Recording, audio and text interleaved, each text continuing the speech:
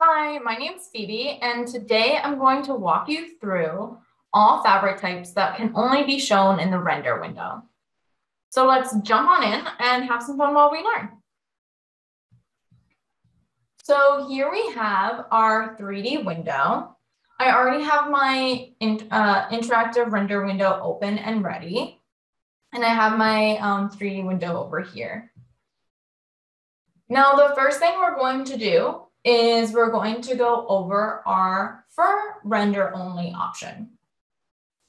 Now, before we get into this, there's just a few things I'd like to remind us all. One, if you saw the video before this, we went over all uh, fabric types about the 3D window.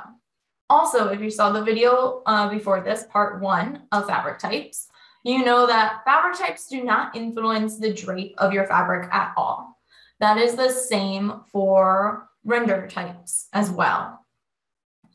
And also, as we know, with these render only types, with, with the um, 3D window, a lot of the changes that were happening were with the reflection. The big difference with the render fabric types is yes, the reflection changes a bit, but also we add in another element sometimes. So with fur render only, the element that's added in is the fur parameters and fur shape.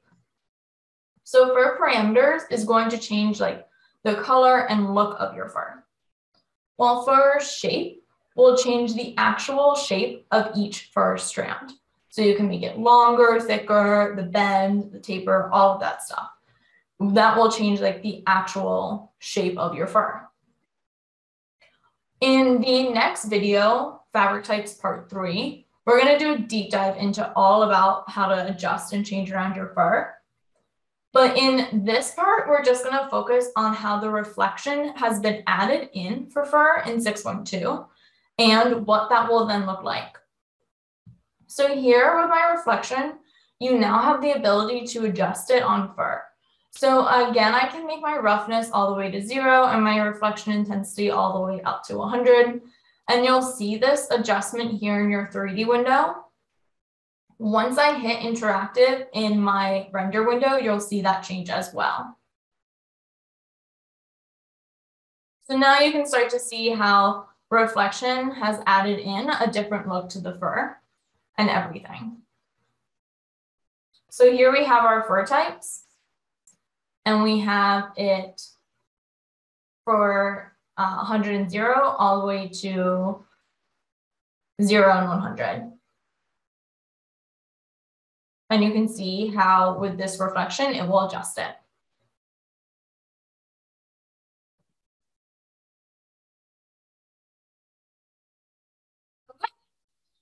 So now let's move on to gem. So I'm going to move over here to our gem.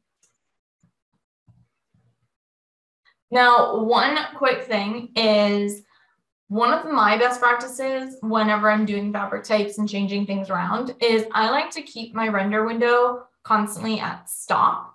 And once I adjust all of the fabric type to what I like, then I hit interactive. Also, another thing to remember is you don't just have to apply fabric types to fabric. Fabric types can be applied to avatars, hardware, OBJs, all of those types of things. Um, it is not exclusively for fabric at all. So now let's click here and I'm going to hit interactive in my type, in my render window. And you can see here in material, type selected, gem. So let's talk a little bit about gem and the differences that you see here. So if I scroll down to my gem type, you'll see that the reflection has changed, yes. But we've also added in this other element for our property and it's refraction. So you might be asking yourself, what's this refraction add-in? What are all these refraction intensity, absorption, and Abbe?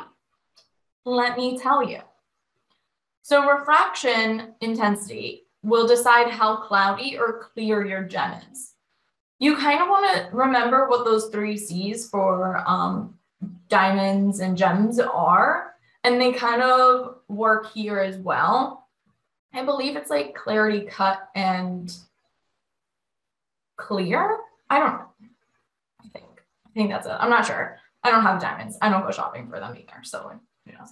Um, but for refraction, this is going to decide how cloudy or clear your gem is.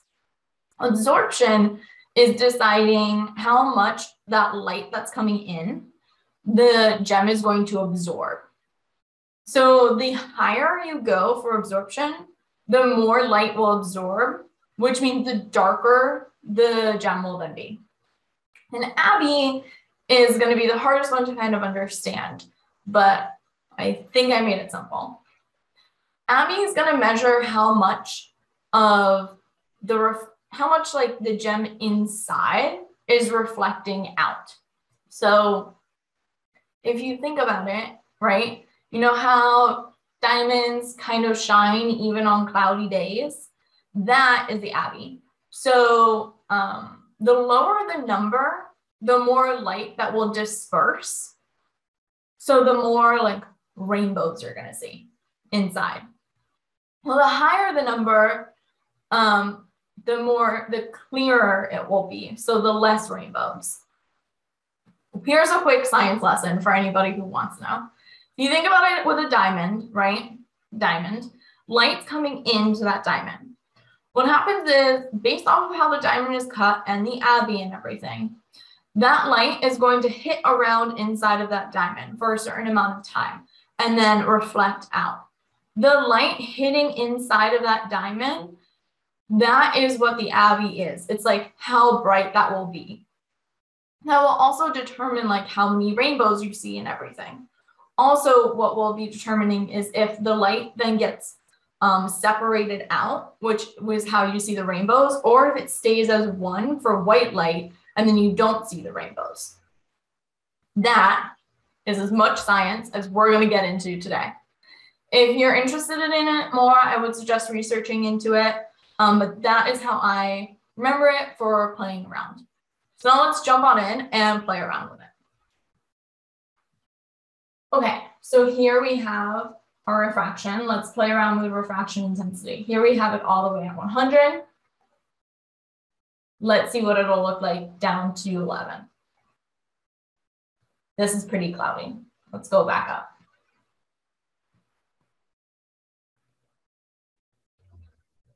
Now absorption is at 0.02.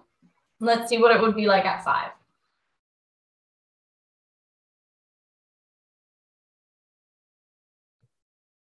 It's starting to absorb it in. Let's bump it up to like 10. Again, it's starting to absorb it a little bit more in and everything. Let's go back to 0 0.2. Less absorption and you see the light kind of bouncing off more. Finally, we have our Abbe. This is at 80. Let's see what it would be like at one. Now you start to see those rainbows because the light's separating and it's bouncing around a little bit more. At 20, you still kind of see the edge of the rainbow, right? Because it's still separating but you see like this is where it's bouncing around. It's going around in a little like square and all the way at 80. Again, all that. So that is gem. Gems are great to use for when you have like rhinestones or stuff to place onto shirts or um, any garment really, or even any accessory that you want to place onto it. It can also be used if you were making jewelry or like home goods or something like that, and you wanted to like have gems or something around. Okay, now let's move on to the glass. I'm gonna hit interactive. Let's select this. So here we have our glass render type. So here we've got glass. Now, if we look at the added element, again, it's refraction. Now, this is very similar to what gem was, except we don't have the Abbe. We just have refraction intensity and absorption. So again, if I increase this, you'll see that it's going to be a little bit clearer. If my absorption goes up to five though, you're gonna see that this becomes a lot darker. Another thing that I want to add here is I've added in a color to my glass. Based off of how I set up this refraction um, intensity and absorption, that's going to directly affect how my color looks. Also, the angle in which I view my glass will also be affected. So if I lower my absorption down to one, you'll start to see the color more. But in darker areas, like areas where the glass is overlapping closer together, you won't see as, as much. Also, if I change my angle, you'll see how it's affected a little bit more too.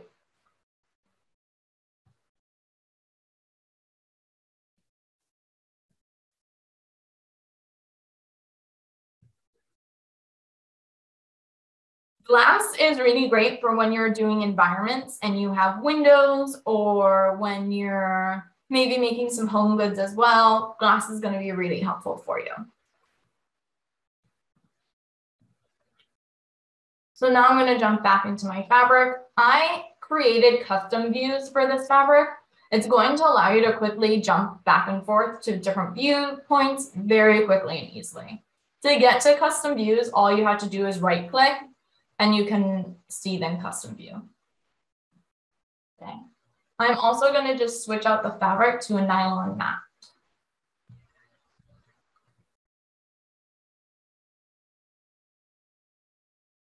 Okay, so now we have our nylon mat and I'm going to hit interact.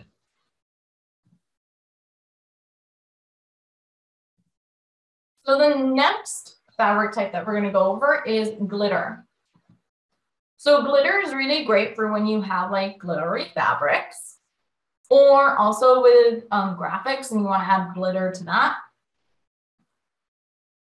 Here I'm going to scroll down and you'll see that there's now these, this option called glitter parameters. So you can play around with the color, number, and saturation. So the color here, what you can do is you can actually decide what you want these little dots to be. You can have them so like they're a similar color or a completely different color if you want. I just always try to make sure that they're lighter than the base color. You also can decide how many, how like many glitter points you want within your fabric. I tend to stay between 100 and 300. I find if I go over 300, like 500, they be, it becomes too dense and you don't get to really see the difference as easily.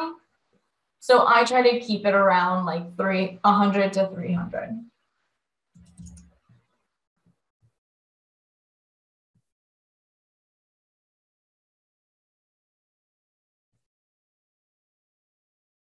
Finally, the other option you have is your saturation value. This is go uh, saturation variation. This is going to allow you to vary the saturation per glitter. So it's just easier to show you. If I have um, one, you can see that um, each glitter speck is going to have different saturation and everything, and you'll see like the colors will change a bit.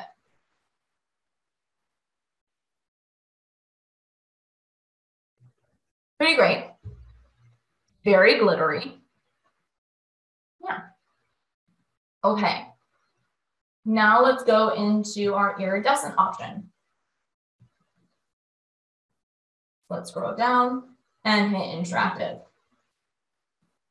So with our iridescent option, again, we've got our reflection options, which has changed a bit. I'm gonna make that lower. And we also have refraction. Same things as before. You can play around here that there's more or less. And then also your absorption. I tend to just keep this what it is. Uh, it works the best. The next option you have here is the iridescence. So the first thing is color. You have five colors. You can actually go in and change these color chips to whatever color you want. So sometimes I pick like one hue and then I'll do different um, levels of that, different saturations of that. Um, right now though, I'm just gonna pick different colors.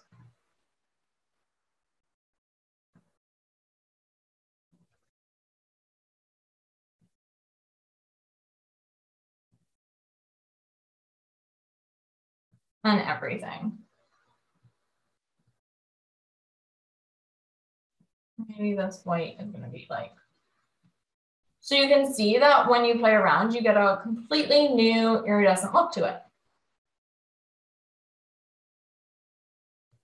The next option you have is roughness. Now, roughness is very similar to what roughness is when it comes to reflection. The lower the number, the higher the number, the more cover, uh, the more surface area it will cover, the light will. While the higher the number, the smaller surface area it will cover. So right now we're at a smaller number and you can see like each little part is like really bright, each little section. While as if I went to higher, it would be more evenly spread out per the entire coverage. I like to keep it lower because I think that works best. The next option is hue shift. This will actually shift your hue over. So I can go over here and now I have like green hues instead. I can go down here. Now I've got like some blue, purple, greenish, and everything. I can go more in the middle. We're gonna get to warmer colors and every and all of that. Or I could just do zero and it will stay with what I originally had. And finally, we have the weight option. Now, this option is where the higher you go, the more weight the iridescent will have versus the ground color. So the iridescent will carry more weight than what your ground color will be. It just makes sense when you see it. So if I higher the weight here, you're gonna start to see that the iridescent colors become more prominent and heavier versus the ground color. But if I go farther down, you start to see more of the ground color and the iridescent is just like a light little highlight, kind of.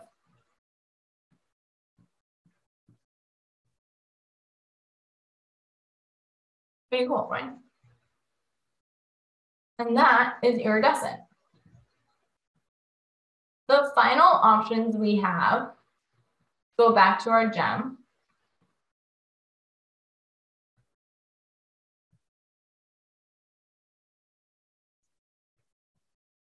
And here we also have light. So what light does is it just makes that object a light almost. It's great for when you have an environment and you want like a light bulb somewhere or anything and you just change that to a light. And also we have skin. So skin is really important for avatars. It actually looks best on them. Skin is really important for when you have an avatar in your 3D workspace and you want it to look a little bit more realistic. You would apply a skin render to it and it will start to look a lot more realistic and everything versus just the fabric mat and all of that. And these are all of our different rendering types. Thank you so much for watching. I hope you enjoyed this video. If you have any questions, please post them down below in the comment section. One 3D, uh, 3D designer will get back to you on it. Uh, I hope you learned a lot and please don't forget to like and subscribe. There's so much great content on this channel that will just help teach you and you'll just learn so much about Clo and be such a pro before you know it. Thanks again.